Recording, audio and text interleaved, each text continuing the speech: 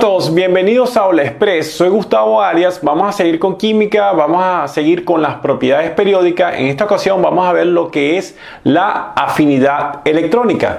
Como tenemos acá el concepto, la afinidad electrónica me está diciendo de que es el cambio de energía cuando un átomo acepta electrones en estado gaseoso fundamental. Esto quiere decir que es la habilidad que tiene el átomo de aceptar electrones y se cuantifica esa energía que está existiendo, ya que al aceptar un electrón existe un cambio en la energía de dicho átomo. Esto lo podemos representar mediante la fórmula siguiente. La ecuación me dice de que yo tengo un determinado átomo X en estado gaseoso más un electrón, al aceptar el electrón, este átomo se va a convertir en un anión, en un guion, se ioniza, carga negativa, más la energía o la afinidad electrónica. Esa energía va a ser espontánea.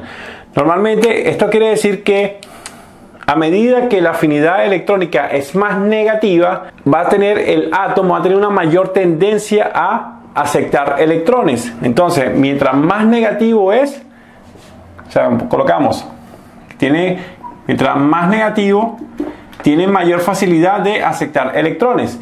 Ahora, podemos expresar esta afinidad electrónica en las unidades serían en kilojoules sobre mol, igual que en las unidades de energía de ionización que vimos anteriormente. Ahora, nos preguntamos cómo es el comportamiento de la afinidad electrónica en la tabla periódica.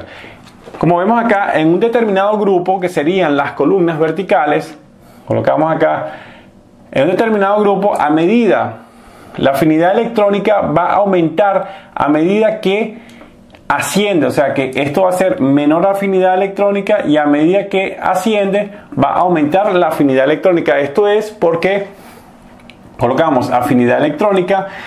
Esto es porque el radio atómico a medida que desciende, que sabemos que el número cuántico o el periodo va a aumentar, va a aumentar la distancia aproximada de los electrones del último orbital al núcleo de cada átomo, como tenemos acá. Entonces, al aumentar va a tener una menor afinidad electrónica, o sea, va, va a existir una, menor energía que va a liberar ya que aumenta su radio atómico. Mientras que a medida que el elemento se hace más pequeño, entonces va a tener una mayor afinidad electrónica para aceptar electrones.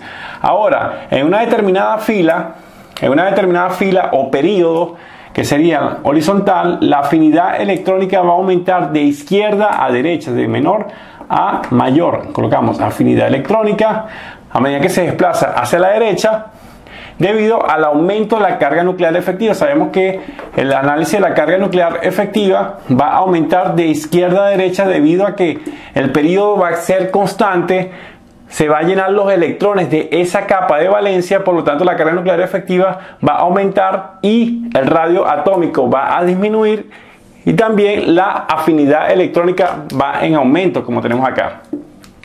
Ahora, es que existen algunas excepciones para esta afinidad electrónica en la tabla periódica. Existen excepciones para los grupos 1A al 2A, el 4 y también para el grupo de 4A al 5A y también en los periodos cuando pasa el periodo 2 al tercer periodo, que lo vamos a ver en otro video.